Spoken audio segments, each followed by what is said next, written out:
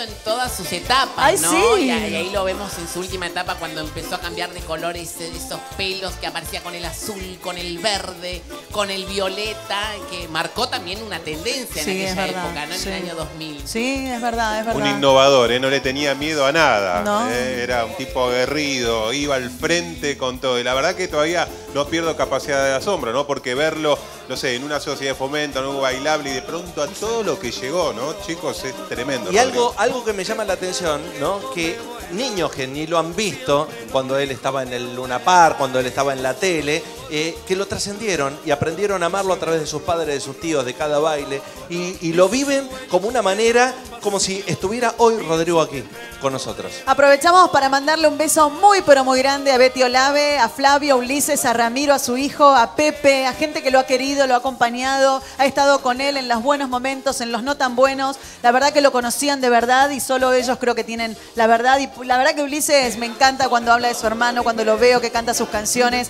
Lo mismo Flavio también siempre recordando su memoria. Así que un beso grande Betty. ¿eh? Supongo que este momento también debe ser muy duro para vos, así que estamos con vos. Y yo arranco a despedirme ya, Dale. porque sí, tenemos lástima, un ya pasó hermoso rápido, ¿eh? video ahora para el cierre, siguiendo con este tema del Potro Rodrigo. Así que a todos les mando un besito grande.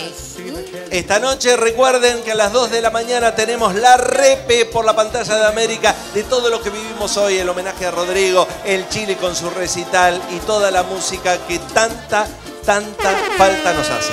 Y si te gustó el programa, hasta el próximo sábado. Cariños a todos. Un beso grande, gracias por acompañarnos como siempre, los queremos mucho, gracias por el aguante. Y justamente hablaban recién de este video que vamos a presentar. Eh, hay dos personas que han guiado estas 75 que forman este video, que son Jorge Oveaga y Pablo Ramusi. Este, Voz en Acción se llama este grupo. Y bueno, chicos, la verdad que este video es fantástico. Tuvimos la oportunidad de verlo un ratito antes para, para poder también explicárselo a ustedes. Así que a disfrutarlo, a disfrutarlo. ¿les Es muy parece? emocionante, ¿eh? desde La Plata, voz en acción, diversidad de género, pero muchas coreografías y sobre todo los temas de Rodrigo. Chau, hasta la semana Hasta que sábado. viene. Adiós.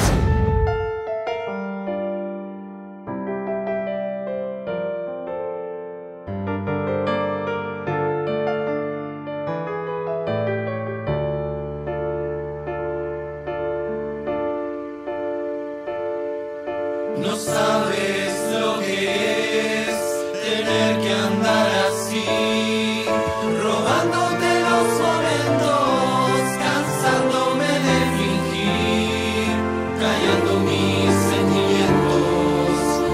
cuando te